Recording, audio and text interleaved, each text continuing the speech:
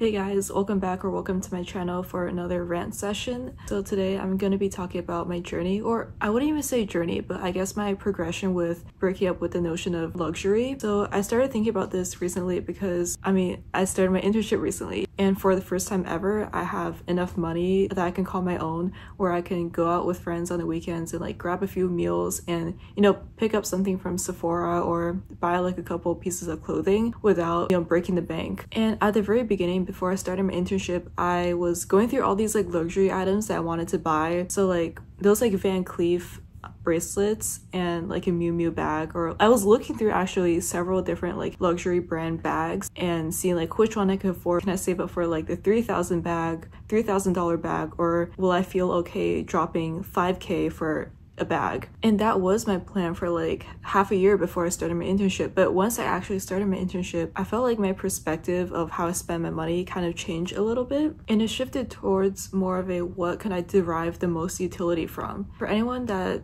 isn't familiar with the term like utility, I guess it's like a really basic term, but if anyone isn't, it's like an economic term and I have it pulled up on my iPad here. So the official definition, according to Google, is the total amount of satisfaction someone experiences when they consume a particular product or service. So I guess like to put in layman's terms, in my situation, it would be what would I feel most comfortable and happy spending my money on? And I guess as I've been spending my money, like going out with my friends on weekends, like shopping and eating, I realized that with my financial status at the moment, spending thousands of dollars on one luxury item is not going to give me much utility. In fact, it might actually make me anxious and feel like I made a mistake or I did something irresponsible. Growing up middle class, I felt like I had a weird relationship with the notion of money and luxury. And for context, my family is like smack middle middle class, or at least like I think we are. And just to preface, I know I'm like really fortunate to have never had to experience food insecurity and like I never had to worry about the next meal and I've never had to even think about oh whether or not my family will be able to pay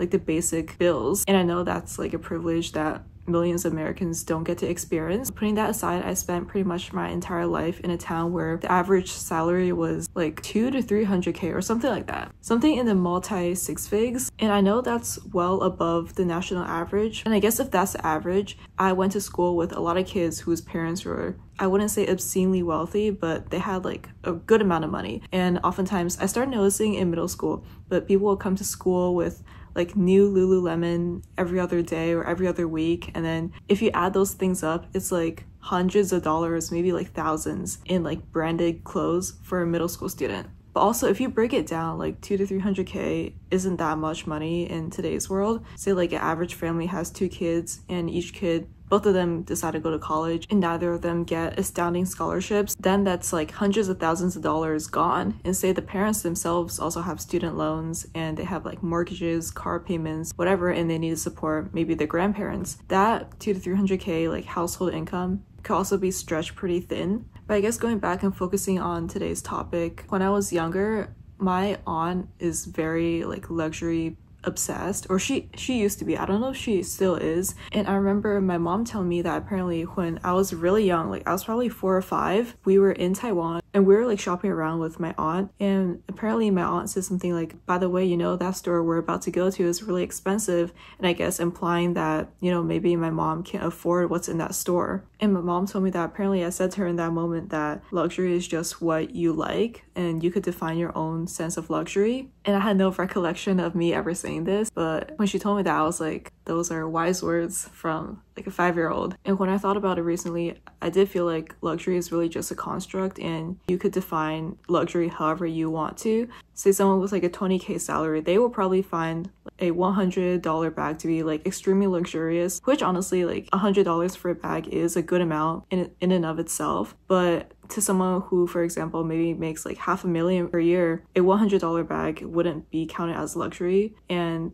it's like it's weird for you to argue like one way or the other and neither of them are wrong. I guess i was about to say like different standards of living but that also doesn't seem like exactly right. And i guess i first started noticing brands and all that when i was in middle school which i feel like is like the common age for most girls. And my parents or my dad, he really doesn't care for brands. So he knows them and he like appreciates it, but he doesn't go out to buy it. And I think he appreciates it when someone gives him like something branded, but he himself would never go and buy something like luxury. And my mom is very much a quantity over quality person, whereas I've kind of strayed from that because I see her buy things in excess that she doesn't that she buys because they're on sale, but she doesn't actually like them. So then we just have like a whole bunch of clothes in our house from like I don't know Forever 21 or something from 5 years ago that we don't even like that she doesn't like because she bought it on sale because she thought it was a good deal in that moment and because it's on sale like you can't return it and I don't want it because it's not my style. So yeah, I just thought it was a bit of an annoying habit and therefore I'm very much a quality over quantity person. But because my parents are like that, when I was in middle school, like imagine like a 12 year old girl like coming to her parents saying, "Oh, I want to buy these $100 shoes or whatever." Like the most the most they've ever indulged me when I was in middle school, I think, was when they let me get those UGG boots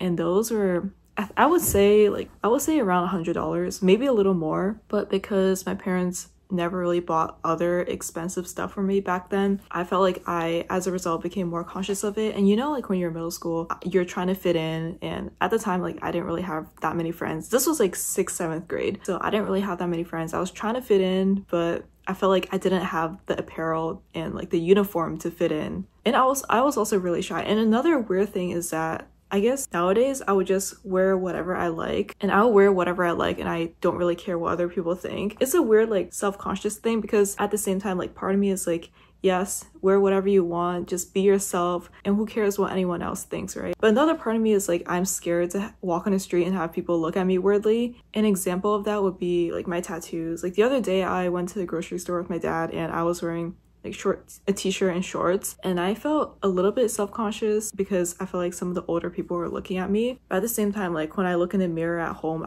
I really like my tattoos. So it's like still a weird mixture of emotions. And this feeling of being self conscious is something that I've kind of been battling since forever, it feels like. I remember the summer before I started middle school, my mom went to Taiwan, or actually, we both went and we got like a bunch of really cute shirts for me. And they weren't formal, but I would say they weren't like t-shirts that kids would normally wear to school. I really like them and I would wear them to school. But as soon as I set foot in the school building, I felt so self-conscious and I felt like everyone was looking at me. But to be honest, nobody nobody was. Like who cares? Like who who was I?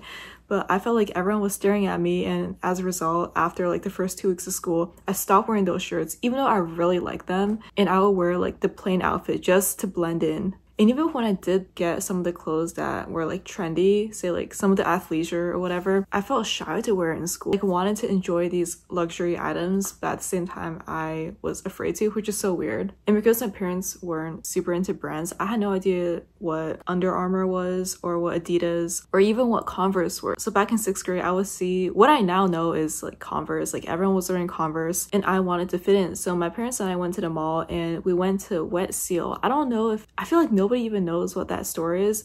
We had one in my mall at the time. This was like 2014. And I feel like it's like a very millennial store because I would watch like OG YouTubers and they would talk about this. But for some reason, there was still a Wet Seal. I guess that one just hadn't gone bankrupt yet. So they had these Converse knockoffs, but at the time I didn't know they were knockoffs and I got them and I wore them to school. And then like a month later, I realized that there's like the little Converse logo on the back of the shoe that all Converse shoes have and mine didn't have that. And then for some reason, it was like embarrassing. But I got so self conscious wearing that. I still wore them because like I had to. I bought them, and my parents, my mom wasn't gonna let me get away with buying something and not wearing it. So I still wore them, but I felt hella self conscious. And another thing I really wanted, this was in high school, was a Canada Goose jacket because my high school was kind of open campus. Like we had to travel outside out like outdoors in between buildings to get to different classes. So we had like a science building a world language building and you know math building whatever. So i wanted a jacket that would cover like down to my ankles or like close to my ankles. And it felt like everyone had a canada goose and i wanted a canada goose.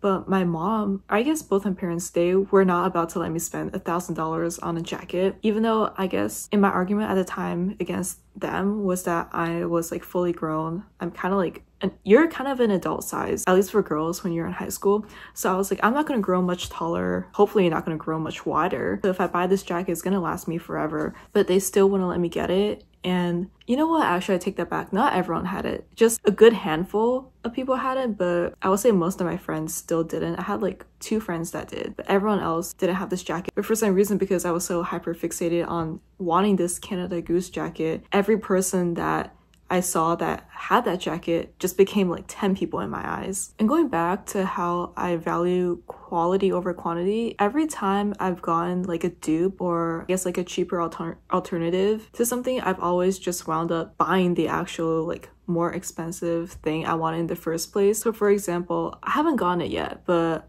I've been wanting that North Face jacket, just like the basic black puffer, since forever. I, I would say probably three years by now. I've been wanting that, but it was like I think it's around $200 and back in my freshman year of college I just I couldn't justify spending $200 on a jacket but I ended up getting so many like $100 jackets or or jackets that were under $100 and probably have like three to five of these jackets and if you add it up total amount is more than 200 and none of them are bad of quality but a lot of them are just like thinner and they aren't heavy duty and I guess I was trying to save money but in the end I'm still gonna get the thing I originally wanted. And this is the same deal with AirPods. I, for the longest time, I, I guess like in high school, I didn't really have my own money. So I was gonna drop like hundred or two hundred dollars on AirPods. So I would get these like knockoff wireless earphones that weren't that weren't great. During quarantine, I was somehow convinced by the YouTubers to buy those Raycons because all of them were promoting Raycons. So I got them they're like they're okay but they're not the best and i ended up buying airpods i just like bought it sophomore year of college because i was working part-time at the time and it made my life so much easier because you have like the whole apple ecosystem it just automatically connects whereas with like raycons or i guess non non AirPods, you will have to like manually connect it and disconnect from each device. And another thing I'll ultimately buy are those like hunter boots. The last time I got rain boots were back in middle school. And I think I just got these like really cheap ones from TJ Maxx. They're probably like under 20 bucks, but the Hunter boots, they're like 150 or, or 170 dollars. And at the time, my mom was like, it hardly rains. Like when it rains, you don't really wear rain boots anyway. You just wear your sneakers or whatever. So I didn't end up getting them. But recently on Instagram, I've been seeing a lot of people just wear those Hunter rain boots with like a summer outfit, like a short skirt and stuff. And it doesn't even have to be raining. Like the pictures they take are fully sunny, and it's low key. It's low key a look. So yeah, I'm gonna get it too, and I guess I'll be wearing them when it rains and also during the winter because I could just wear thicker socks or something with it. But with me, I guess I could end up saving so much money if I just save up and buy that one thing I really like rather than buying like five dupes in an attempt to save money and not actually save money. But I feel like I'm straying a bit from my initial topic of luxury. So I guess my thinking is that you should tie luxury with whatever financial standing you're at because you never want to live above your means. Like for me, I would say anything above $500 for like one item, say like a really nice bag or a really nice jacket. Even 500 is kind of pushing it, but anything above 500 to me right now is luxury.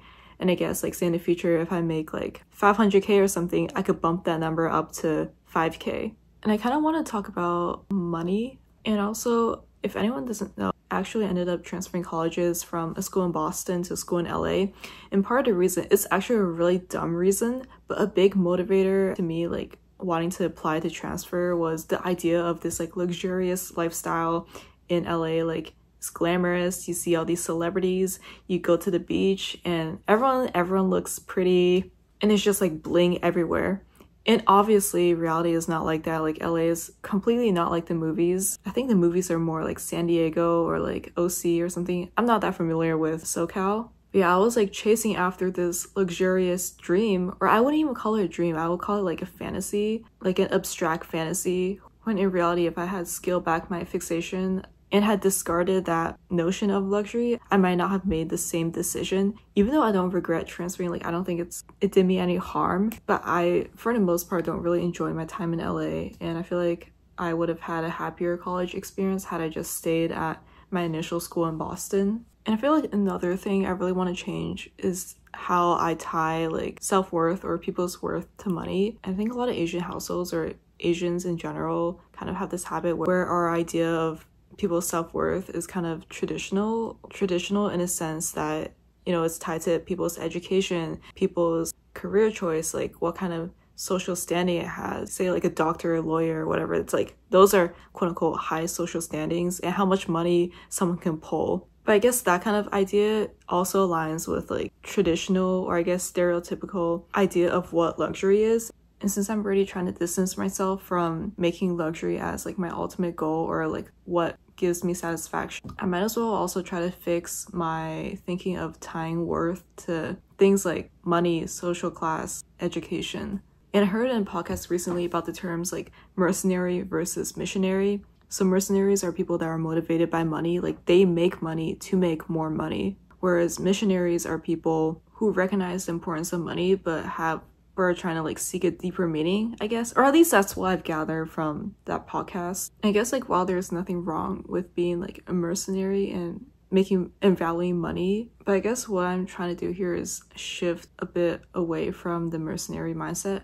Although I feel like that's a bit conceited to say because I feel like that is something that those like ultra billionaires say like oh my god like money doesn't mean anything the meaning of life is something much deeper and like yeah that's true but I guess like I have to be realistic. Like yeah, money's important and some things that you could get with money do make you more happy. But I guess it's also not being too money hungry and feeding into consumerism and and spending your money unwisely because you're trying to buy those like luxury items. Yeah, I feel like that's all I have to say. I feel like anything else I say is just gonna be me talking in circles. So if you're still watching, Thank you so much for watching. And this time I actually had a list of general points that I wanted to go through. So hopefully it was like a bit more structured.